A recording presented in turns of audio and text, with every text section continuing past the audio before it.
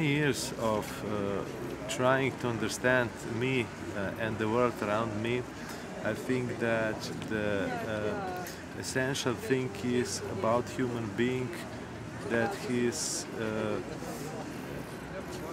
that he is a related creature. So we are related creature. We are raised up by some environment uh, Uh, uh, which includes also our culture and nationality. And uh, we are not isolated. Uh, we are not isolated uh, regarded from the logical point of view, nor from the neurological point of view, nor from the social point of view. and this connection is bodily connection. Uh, we are uh, we are creatures who, who, who have the need to be understood, to be felt by others, uh, to be empathized, to, to be in empathic relations with other person, and this is not possible without body, because empathy is grounded in on upon bodily processes.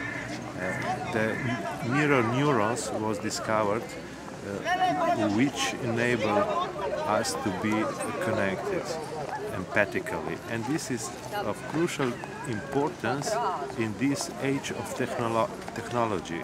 I as a philosopher I'm I, am deeply interested uh, uh, on the influence of technology of on human well-being and we must uh, understand that uh, cyberspace telepresence can, cannot successfully substitute our physical gathering.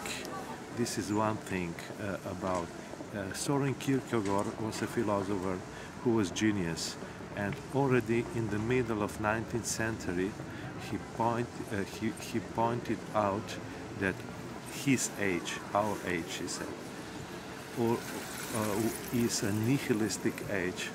Uh, that means that it is not possible to truly, genuinely uh, say what is good and what is bad by persons from this age. All is leveled. To, to have a capability to differentiate between what is good and what is bad.